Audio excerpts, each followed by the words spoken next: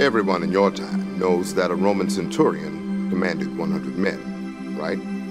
Because in Latin, the cent in centurion means 100. You have 100 cents in a dollar, 100 years in a century, so centurion, 100 men, right? Wrong. The centurion in Capernaum is one of the few people who amazed Jesus because of his great faith. This must have come as quite a shock to the Jews of Jesus' day, who thought they were the only ones with faith pleasing to God. Let me explain how the Roman armies were organized in the time of Jesus. At the head of the Roman Empire was the emperor. At the time when Jesus preached, the emperor was Tiberius, who ruled from 14 to 37 AD. Below the emperor were the legions, which each had about 5,000 men. In the time of Tiberius, there were about 28 legions. Each legion had 10 cohorts, with each cohort having six centuries. Each century had about 80 men, so a centurion typically commanded about 80 men, not 100. There were different levels of centurion. But in your terms, a centurion would be equivalent to a captain or a major. Centurions typically attained their positions by being competent soldiers. However, they usually led from the front in battle, so the lifespan of centurions could be short. Centurions were highly respected and were known for being tough.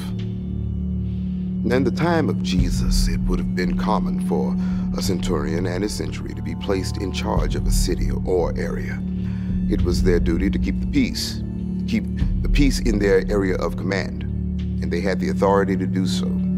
Although centurions were paid professional soldiers, many of them were independently wealthy or found ways to supplement their incomes through taking advantage of the areas they administered.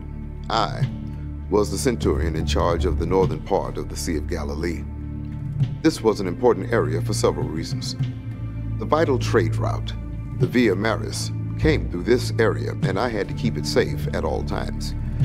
It was an important source of tax revenue, and any slowdown in traffic was a cause for concern from Rome. That is one reason I was an acquaintance of Matthew and the other tax collectors in the area. As part of keeping the area safe, I was in charge of keeping peace with the Jews in the area. This was actually a pretty simple chore, except for one group. Nearby was a large faction of zealots, Jews hoping to take their nation back from Rome. They were prone to violent action, so I had to keep a tight rein on them. I partly accomplished that by working closely with the peaceful Jews, Pharisees, or other local leaders. The Jewish leaders found that I was willing to support peace by building synagogues and respecting their customs, but they had to reciprocate that by helping me keep the zealots under control and by helping me collect a fair amount of taxes. We had a symbiotic relationship, and unlike most Romans, I came to love the people of Galilee. My region stayed so peaceful, and we collected so much tax revenue that Rome let things stay intact for many years. I had a simple job, and my life was calm until Jesus showed up. First, he was just a simple traveling preacher who preached a simple message and, and healed people. I could not imagine what trouble he might be able to cause. Over time, he really upset the Jewish leaders by his teachings.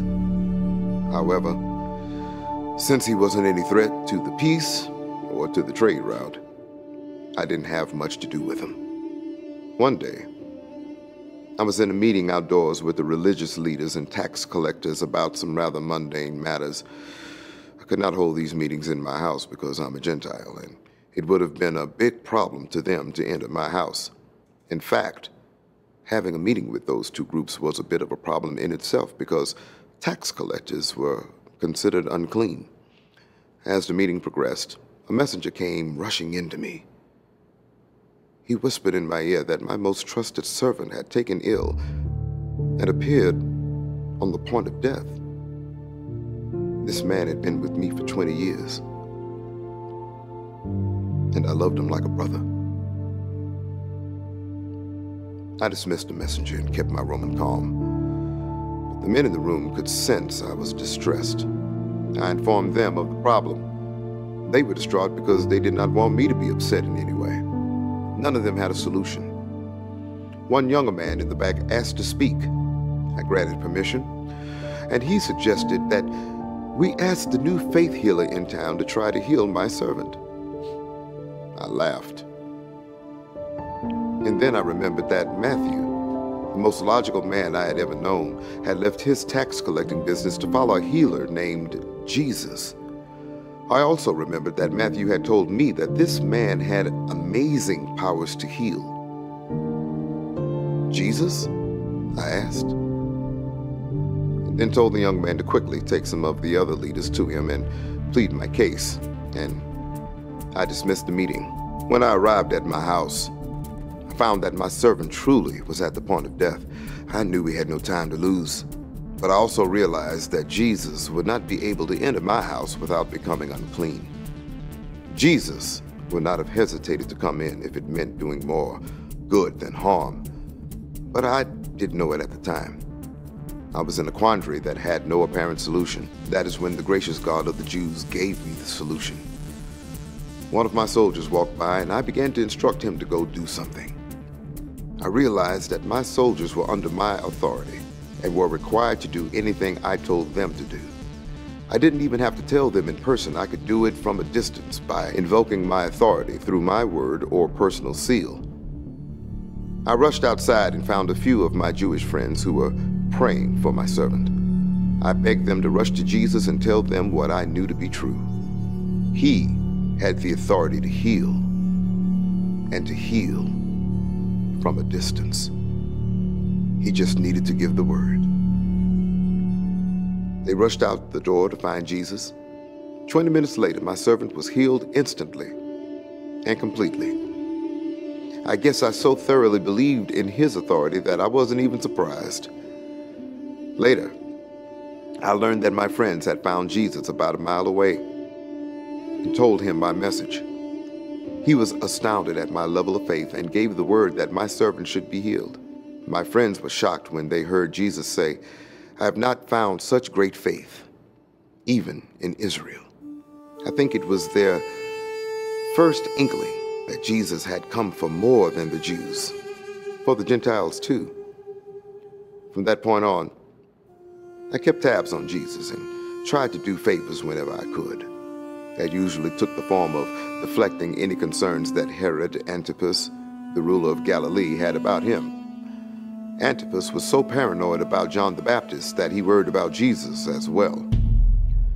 I decided to hire one of my Jewish friends to follow Jesus and report back to me everything he learned. It wasn't long after he healed my servant that Jesus went on another of his long preaching walkabouts, and my friend followed him. Jesus went by Nain, which is about 35 miles from Capernaum, but only a few miles from his hometown of Nazareth.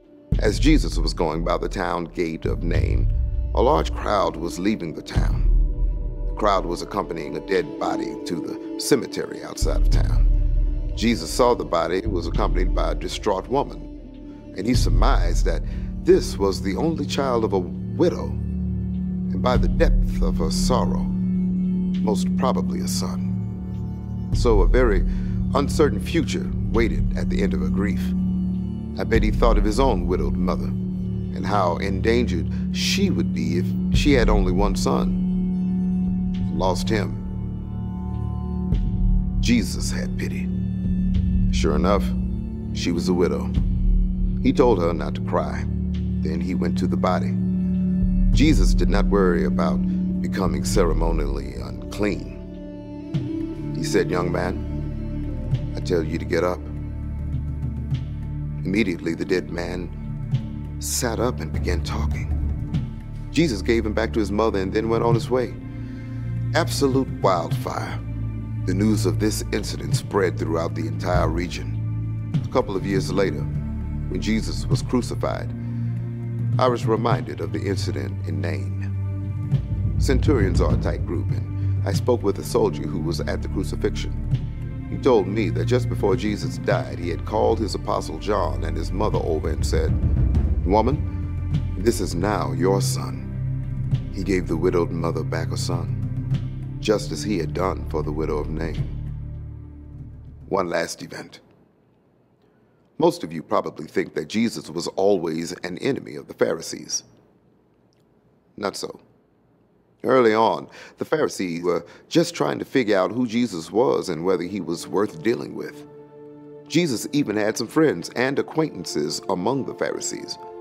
One of those was a man named Simon. Simon decided to have a dinner and invite Jesus to it. I suspect he wanted to show off a little that he was friends with the new faith healing town. Simon invited all of his important friends to the dinner and made sure all the Pharisee traditions were honored. I believe he had ulterior motives because he did not treat Jesus as a guest of honor. During the course of the meal, a woman of ill repute slipped into the room and began to clean and anoint Jesus' feet with a costly perfume using her hair and tears. Simon and the guests were appalled. She was a woman a woman of ill repute, and she was touching a man in public. All of this was abhorrent to the Pharisees, believing Jesus would not have let her do such a thing if he knew about her. Simon concluded Jesus was not a prophet. He was not only wrong in thinking that, but he was incapable of understanding the significance of what she did. Simon must have been shocked when Jesus answered out loud to what he was thinking. Jesus told a story about two men who owed a certain moneylender two different amounts of money. You can be sure that he winced when Jesus started his story because Simon probably knew the two men Jesus was using as an example, and one of them may have been him. Jesus went on to say that the moneylender forgave the two men because they could not pay back their debts. Then he asked a question which one of the two men loved the money lender more because of the forgiveness? I suspect Simon really flinched when he heard that question. Simon answered, I suppose the one who was forgiven the bigger debt. When Jesus said that he had answered correctly, Simon almost collapsed with relief that he had appeared wise in front of his guests. If so, he was relieved far too soon. Jesus described how the woman had treated him with such precious actions, and by doing so had showed her faith in Jesus. He said she had many sins, but her sins were forgiven. Jesus went on to say that Simon had not treated him as an honored guest because Simon felt so self righteous. What Jesus pointedly did not do was forgive the sins of Simon. I'm pretty sure dinner came to a screeching halt soon thereafter. This incident set the course for Jesus to be in opposition to the Pharisees and other self righteous religious leaders. In retrospect, if they had just humbled themselves, the Jewish religious leaders would have saved themselves a lot of trouble. As one of Jesus' followers would write, do not think of yourselves more highly than you ought, but rather think of yourself with sober judgment, in accordance with the faith God has distributed to each of you. As for me, I spent the rest of my military career going to the places where Rome most needed me. Unlike most of my fellow centurions who retired, I did not go back to Rome or Italy. I went back to Israel to raise olives and grapes. Rome had a huge problem dealing with the large number of soldiers who retired and expected a land grant as part of their retirement compensation. The world had been at peace so long that too many of us had survived instead of dying in battle. I was content to take my land grant in Israel, a place few soldiers wanted to be. I never did get to see Jesus again, but I did stay in touch with my fellow centurions who told me about his death, burial, and resurrection, and about how his followers began spreading Christianity. I wasn't surprised. He told them to go make disciples. And he had more authority than anybody I ever knew.